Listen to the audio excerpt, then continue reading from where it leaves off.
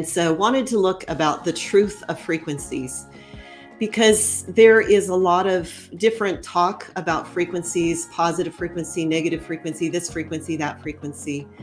And to just kind of clarify one major thing, and that is what is a frequency?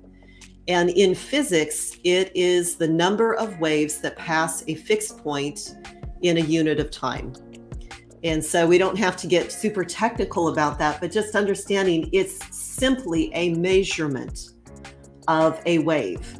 So when we put expressions like, um, you know, it's a low frequency, they're a low frequency or they're a high frequency, um, that is something completely different than actual science. And so, um, in the scientific understanding of a frequency, it's not positive or negative.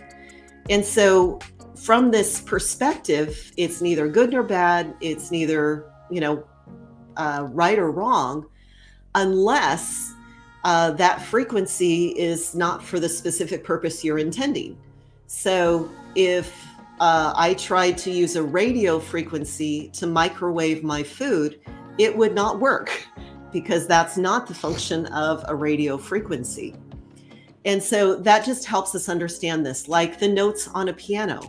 Uh, the low notes are not any more spiritual than the high notes.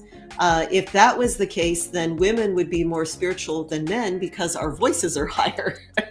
and that is not the case at all. And so, again, colors are frequency but it doesn't mean that red is less valuable or more valuable than purple. They all have their time and their space. And so when we talk about frequencies of music, again, uh, certain frequencies do engender certain uh, responses or reactions in us.